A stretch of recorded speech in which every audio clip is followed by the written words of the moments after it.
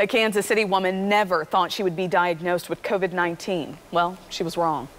She talked about her near-death experience with 41 Action News anchor Cynthia Newsome, hoping her life lessons will change hearts and save lives. I am a COVID-19 survivor. A video testimony to her church declaring victory. After a war, Angela Griswold never thought she would have to fight. I just never thought that it would happen to me because I thought I was taking all the precautions. Mm. But it did. Angela told me she let her guard down at a family gathering in a hotel celebrating her niece's graduation. We were inside of the hotel.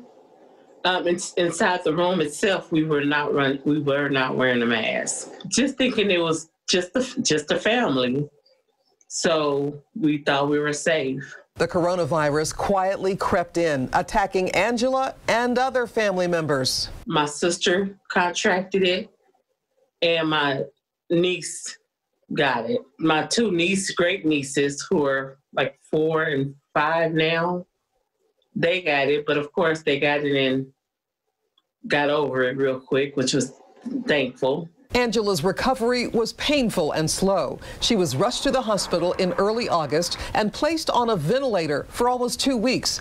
In her video testimony, Angela explained that while she was sedated on the ventilator, she had a vision that she was in heaven with her sister Tina.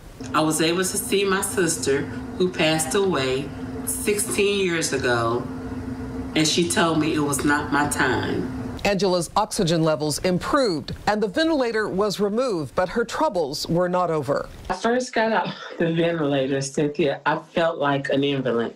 I couldn't move, I couldn't walk, I couldn't I couldn't feed myself. She had speech therapy and intense rehab. She advanced from using a walker and now uses a cane. What would be your take it from me advice? Stay home. Don't don't. I mean, I, there are things that you have to get out and do. Um, it's very minimum. If you don't have to get out, don't.